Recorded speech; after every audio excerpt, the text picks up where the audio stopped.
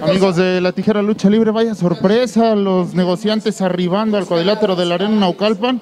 ¿Qué pasó, señores? ¿Por qué, por qué llegaron a, eh, a irrumpir de esa manera? Señores, que les quede bien claro, el negocio no es negociable, sea quien sea. El campeonato completo se lo voy a regresar, porque está llorando mucho y creo que a él le falta un título. A mí no.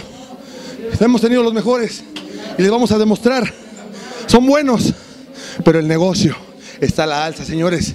Así que esto no acaba aquí y del infierno a la vecindad. El puro negocio sigue haciendo lo que se le da la gana, ¿no están viendo? Apúntenle.